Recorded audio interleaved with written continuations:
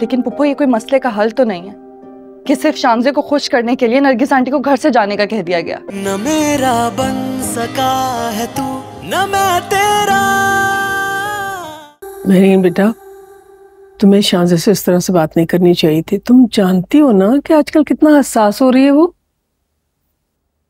पुप्पो इस घर में जो कुछ हो रहा है उसकी मर्ज़ी से ही हो रहा है। वो घर चला रही है। आप बड़ी आप फैसला करें क्या ये सही है कि उसके मूड पर सब चले? मैं जानती हूँ तुम सही कह रही हो बेटा।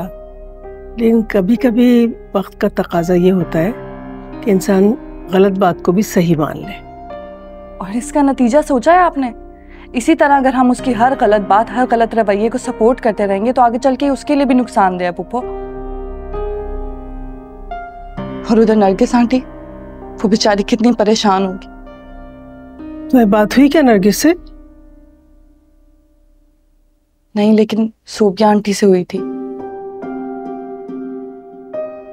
कितनी नाखुश होगी वो नरगिस के वापस जाने से इस तरह से?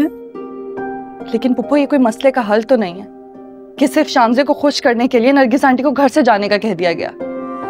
बेटा तुम किस बात पे खपा हो रही हो? खुदा ना करे वकार ने उसको हमेशा के लिए तो नहीं भेज दिया ना वहाँ पर? बजाय शानजे को माफ़ी मांगनी चाहिए थी उल्टा नरगिस आंटी को घर से जाने की सजा सुना दी गई। वो भी वकार अंकल ने सिर्फ़ शानजे को खुश करने की कोशिश की। अच्छा अच्छा अच्छा। बस थोड़ा सांस ले लो दो तीन दफ़ा लंबे लंबे। और मुझे ये बताओ गुस्सा किस बात पे आ रहा है तुम इतना? क्यों नहीं आएगा पुप्पो? आखिर को ये शादी मेरी वजह से हुई थी? अगर नरगिस आंटी के साथ कुछ भी होगा तो ज़ाहिर है उनके घर वाले मुझसे पूछेंगे मुझसे सवाल करेंगे।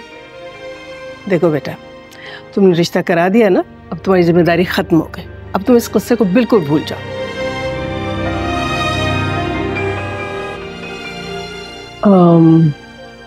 मेरे ख्याल से वकार आ गया अब इन सारी बातों को उसके सामने बिल्कुल मत दोहराना।